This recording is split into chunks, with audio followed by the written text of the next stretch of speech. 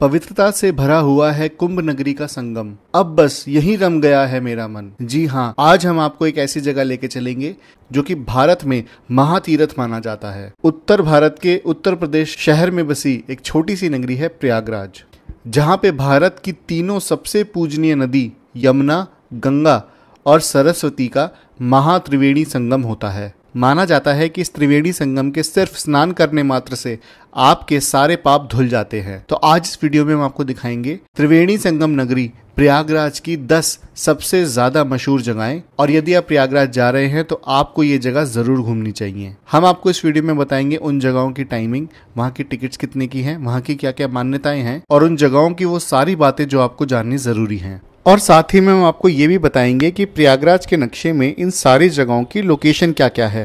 तो हमारी वीडियो अंत तक देखना और यदि आप नए हैं तो हमारा चैनल ज़रूर सब्सक्राइब करें। बस दबाइए लाल बटन और इसी के साथ दबाइए घंटे का निशान। नंबर दस, सोमेश्वर महादेव। सोमेश्वर महादेव मंदिर प्रयागराज के एक प्राचीन मंदिर है, जो कि एरल घाट पे स्थित है। ऐसी मान्यता है कि यह मंदिर चंद्रदेव द्वारा स्थापित किया गया था। राजा दक्ष प्रजापति द्वारा दिए गए काया श्राप से मुक्त होने के लिए, जिससे चंद्रमा कुरोप हो गए थे और उस श्राप से मुक्त होने के लिए उन्होंने इस मंदिर को स्थापित किया। सावन के महीने में हज़ारों की तादाद में श्रद्धालु यहाँ आकर पूजा अर्चना करते हैं, जिसमें महामृत्युंजय जाप और रुद्र अभिषेक होता है, जिससे आपको आपके शरीर के सारे रोगों से मुक्ति मिल जाती है। इस मंदिर में आने की कोई फ़ीस नहीं है और यह मंदिर 24 घंटे खुला होता है। इस मंदिर में आने का सबसे सही समय है सावन के महीने में बसंत पंचमी के दिन आना। क्योंकि इस दिन यहाँ पे आना बहुत शुभ माना जाता है, लेकिन यहाँ पे उस दिन आपको बहुत भीड़ मिल सकती है। नंबर नौ, न्यू यमुना ब्रिज। गंगा, यमुना और सरस्वती के संगम का शहर है प्रयागराज। और उसी संगम के ऊपर बनाया गया है New Yamuna Bridge. New Yamuna Bridge सन 2000 में बनना चालू हुआ और 2004 तक वो पूरा बन चुका था। इससे पहले जो यहाँ पे ब्रिज था, वो अंग्रेज़ों ने बनवाया था। न्यू यमुना ब्रिज की कुल लंबाई है 1510 मीटर और ये 260 मीटर चौड़ा है। और यहाँ के लोकल्स इसको नया पुल या फिर नाइनी पुल के नाम से भी जानते हैं मेनली और सबसे ज़्यादा कॉन्ट्रोवर्शियल पुल है ये। तो जब इसका इनोग्रेशन का टाइम था तो उनके बीच में मतलब दोनों पार्टी के बीच में लड़ाई हो गई थी कि हम इनोग्रेशन करेंगे, हम इनोग्रेशन करेंगे। मतलब ये हमने बनवाया है मतलब पार्टी इसका क्रेडिट लेना चाह रही थी। यह ब्रिज इंडिया का दूसरे नंबर का सबसे बड़ा केबल सस्पेंशन ब्रिज है, जो कि मुंबई के सी लिंक ब्रिज के बाद आता है। इस पुल में आने की आपकी कोई फ़ीस नहीं है और यह पुल 24 घंटे खुला होता है। न्यू यमुना ब्रिज में आने का सबसे सही समय है शाम के समय, जब यहाँ पे धूप नहीं होती और इस ब्रिज की लाइटनिंग देखने में आपको बहुत आनंद आएगा। नंबर आठ, आनंद भवन। आनंद भवन, जिसका नाम हमारे पूर्व प्रधानमंत्री श्री जवाहरलाल नेहरू के नाम पे रखा गया है, और यह प्रयागराज में स्थित नेहरू परिवार का घर माना जाता है। आनंद भवन 1979 में बनवाया गया था, जो कि मैनेज किया जाता है जवाहरलाल नेहरू मेमोरियल फंड के द्वारा। यह वही जगह है जहाँ इंदिरा गांधी जी ने अपना बचपन बिताया था, और आनंद भवन का मतलब होता है खुशियों का घर। आनंद भवन प्रयागराज की एक टॉप अट्रैक्शंस में से माना जाता है यहाँ आने की टिकट आपको पड़ेगी सत्तर रुपए की और पाँच साल से छोटे बच्चों के लिए यह जगह फ्री है। आनंद भवन आने की टाइमिंग है सुबह साढ़े नौ बजे से लेकर शाम को पाँच बजे तक। लेकिन यहाँ आने का सबसे सही समय है प्रातःकाल। नंबर सात, Prayagraj Fort. Prayagraj railway station से आठ किलोमीटर दूर अकबर के द्वारा बसाया गया है प्रयागराज फोर्ट। प्रयागराज फोर्ट इलाहाबाद किले के नाम से भी बहुत मशहूर है।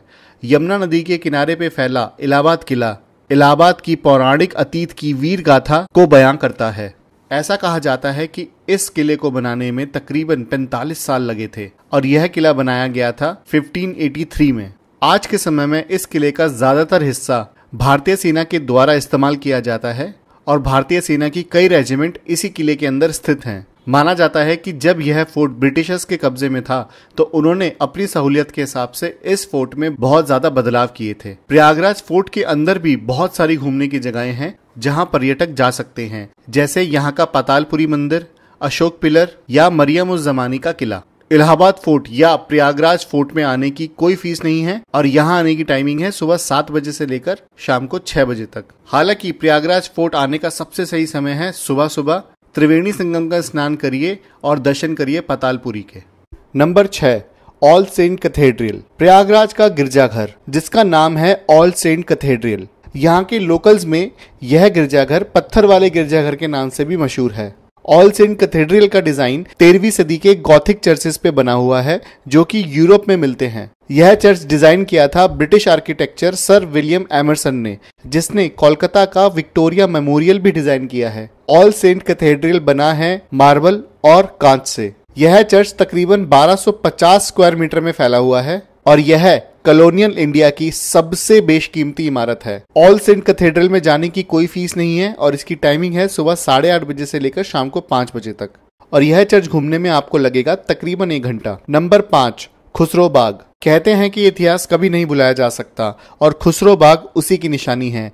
जैसे अकबर और उसके बेटे सलीम की कभी नहीं बनी, वैसे ही जहांगीर और उसके बेटे खुसरो की कभी नहीं बनी। खुसरो बाग मुगलों की बेशकीमती धरोहर में से एक है। ये पर्यटकों के द्वारा प्रयागराज की बहुत ज़्यादा विज़िट किया जाने वाली जगह है। इसी बाग में राजकुमार खुसरो और सुल्तान बेगम की कब्रें आपको मिलेंगी। खुसरो बाग से संबंधित यह लाइनें बहुत मशहूर हैं। याद है सारी वो ऐशो आराम उर्फ़ फरकत के मज़े, दिल लगी भुला नहीं पाएँगे उल्फत के मज़े। माना जाता है कि यहाँ पे राजकुमार खुसरो को बंदी बना के रखा गया था, जब उन्होंने सबसे पहली बार अपने पिता जहांगीर से बगावत की थी और इसी बाग से भागते हुए खुसरो की हत्या कर दी गई थी उनके भाई खुर्रम द्वारा, जो कि जहांगीर के तीसरे बेटे थे। खुसरो बाग को घूमने अगर आप आते हैं तो यहाँ की तीनों कब्रें और तीनों टॉम्प आप ज़रूर देखना। खुसरो बाग आने की टाइमिंग है सुबह सात बजे से लेकर शाम को सात बजे तक और यहाँ आने की कोई भी फ़ीस नहीं लगती। हालाँकि यहाँ आने का सबसे सही समय है शाम के समय। नंबर चार, आलोपी देवी मंदिर। आलोपी देवी मंदिर, जो कि ललिता देवी मंदिर और माधेश्वरी देवी मंदिर के नाम से भी मशहूर है, इक्यावन शक्तिपीठों में एक मंदिर है आलोपी देवी मंदिर। माना जाता है कि जब शिवजी माता सती का मृत शरीर लेकर घूम रहे थे तो विष्णु जी ने अपने सुदर्शन चक्र से माता सती के शरीर के इक्यावन हिस्से कर दिए, जो की धरती पे अलग अलग जगह पे गिर गए। जिन जिन जगहों पे माता सती के शरीर के हिस्से गिरे, उन जगहों पे बन गए शक्तिपीठ। इक्यावन शक्तिपीठों में से एक शक्तिपीठ है, यहाँ पर उनका एक दायना हाथ कट के गिरा था और नीचे आने गिरने के बाद वो विलुप्त हो गया था मतलब इनविजिबल हो गया था। आलोप हो गया था तो इसलिए उनका नाम आलोपी देवी पड़ा है। आलोपी देवी मंदिर की खास बात यह है कि यहाँ पर माता की कोई मूर्ति नहीं है। यहाँ की मूर्ति निराकार है और यहाँ पे मूर्ति की बजाय झूले की पूजा की जाती है और इसी झूले को पहनाए जाते हैं माता के वस्त्र। कहा जाता है कि इसी झूले के नीचे वो कुंड है जहाँ पे माता का दाइना हाथ आके विलुप्त हो गया था। आलोपी देवी मंदिर आने की कोई टिकट नहीं है और यहाँ की टाइमिंग है सुबह छह बजे से लेकर शाम को आठ बजे तक। और इस मंदिर में सबसे ज़्यादा भीड़ होती है मंगलवार को। यही हमारे पूरी इंडिया में एक ऐसा मंदिर है जिसमें आपको देवी जी के स्वरूप के दर्शन नहीं होंगे। मतलब कोई मूर्ति स्थापित नहीं है। वहाँ पे उनकी मूर्ति की जगह पर एक पालना लटका हुआ है जिसकी पूजा की जाती है। नंबर तीन चंद्रशेखर आज़ाद पार्क। चंद्रशेखर आज़ाद पार्क। प्रयागराज के दिल में बसा हुआ 133 एकड़ बड़ा है चंद्रशेखर आज़ाद पार्क। यह पार्क 1870 में बनाया गया था जब अंग्रेज़ी हुकूमत के प्रिंस एल्फ्रेड भारत आए थे। इसीलिए इस पार्क का नाम पहले था एल्फ्रेड पार्क। फिर इसका नाम पड़ा चंद्रशेखर आज़ाद पार्क, जब 27 फरवरी 1931 में भारत के स्वतंत्रता सेनानी श्री चंद्रशेखर आज़ाद जी इस पार्क में अंग्रेज़ों से लड़ते हुए शहीद हो गए थे। तभी से इस पार्क का नाम है चंद्रशेखर आज़ाद पार्क। इस पार्क की बनावट कुछ इस तरीके से है। इस पार्क में है छह गेट। पार्क की एंट्री आप किसी भी गेट से कर सकते हैं। और पार्क में वो जगह जहाँ पर चंद्रशेखर आज़ाद जी शहीद हुए थे, वहाँ चंद्रशेखर आज़ाद जी की स्मारक बनी हुई है। बात और भाई, अगर आपको चंद्रशेखर आज़ाद की स्मारक हमारे पीछे जो दिख रही है, वहाँ पर डायरेक्टली आना है, क्योंकि पार्क बहुत बड़ा है। तो आप गेट नंबर तीन से आए गेट नंबर तीन के एकदम सामने है ये, इनकी मूर्ति। हम आए थे गेट नंबर वन से तो हमें काफ़ी पैदल चलते हुए आना पड़ा।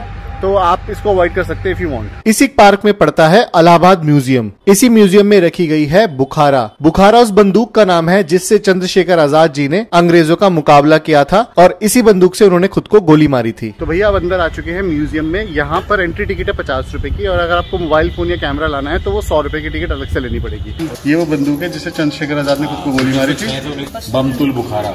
बमतुल बुखारा के नाम से भी है। और ये पीछे फ़ोटो है चंद्रशेखर आज़ाद। मरने के बाद। नंबर दो, लेटे हुए हनुमान जी का मंदिर। प्रयागराज के त्रिवेणी संगम से सिर्फ़ 500 मीटर दूर है लेटे हुए हनुमान जी का मंदिर। बड़े हनुमान जी का यह मंदिर किले वाले हनुमान जी और लेटे हुए हनुमान जी के नाम से भी बहुत मशहूर है। जो भी भक्तजन त्रिवेणी संगम पे स्नान करता है, वो लेटे वाले हनुमान जी के दर्शन ज़रूर करता है। कहा जाता है की सच्चे मन से यहाँ पे जो भी मांगो, वो मुराद ज़रूर पूरी होती है। बड़े हनुमान जी का ज़िक्र पुराणों में भी किया गया है। दुनिया भर में अकेली ऐसी जगह है जहाँ हनुमान जी की लेटी हुई प्रतिमा है। हनुमान जी के बाएँ पाँव के नीचे कांता देवी और दाएँ पाँव के नीचे अहिरावण दबे हुए हैं। हनुमान जी की यह प्रतिमा लेटी हुई क्यों है, इसके बारे में कई सारी मान्यताएँ हैं, जिसमें पहली है की लंका पर विजय प्राप्त करने के बाद हनुमान जी ने यहाँ पर आके विश्राम किया था और वह यही गहरी नींद में चले गए थे, इसलिए यहाँ पे हनुमान जी की लेटी हुई प्रतिमा है। दूसरी मान्यता यह है की जब हनुमान जी सूर्य देव से अपनी शिक्षा प्राप्त करके आए, तब उन्होंने सूर्यदेव से गुरु दक्षिणा मांगने को कहा। सूर्यदेव ने कहा कि त्रेता युग में श्री राम माता सीता और लक्ष्मण जी वनवास काटेंगे और उनको वन में किसी तरीके की दिक्कत ना हो, इसका ख्याल हनुमान जी रखेंगे। और यही होगी उनकी गुरु दक्षिणा। तो जब हनुमान जी राम जी के वनवास के दौरान उनकी सेवा करने चले गए तो राम जी को चिंता हो गई। हनुमान जी इतने तेजस्वी हैं कि सारे असुरों का संहार वो अकेले ही कर देंगे। अगर ऐसा हुआ तो विष्णु जी के अवतार राम जी के जन्म लेने का उद्देश्य खत्म हो जाएगा। इसलिए राम जी ने हनुमान जी को यहाँ पर सुला दिया और वो एक बहुत ही गहरी निंद्रा में चले गए। इसलिए यहाँ हनुमान जी की लेटी हुई प्रतिमा है। लेटे हुए हनुमान जी के मंदिर की कोई एंट्री टिकट नहीं है और यहाँ आने की टाइमिंग है सुबह साढ़े पाँच बजे से लेकर दोपहर को दो बजे तक और शाम को पाँच बजे से लेकर रात को आठ बजे तक। और इस मंदिर में भी सबसे भीड़ वाला समय होता है मंगलवार का। नंबर एक, त्रिवेणी संगम। संस्कृत में संगम का मतलब होता है मिलाप। और यह वो जगह है जहाँ पे भारत की सबसे बड़ी तीन नदियों का मिलाप होता है। गंगा, जमुना और अदृश्य सरस्वती। हालाँकि सरस्वती नदी अदृश्य नदी है लेकिन फिर भी यहाँ पे हर छह साल में कुंभ और हर बारह साल में महाकुंभ मेला लगता है जो कि दुनिया की सबसे बड़ी गैदरिंग होती है। हर बारह साल में आयोजित किए जाने वाले इस मेले में तकरीबन दस करोड़ लोग हिस्सा लेते हैं और ये प्रथा 2000 साल पुरानी है। कहा जाता है कि इस मेले में इतने लोग होते हैं कि सारे लोग एक साथ देखने के लिए आपको स्पेस में जाना पड़ेगा। बोलो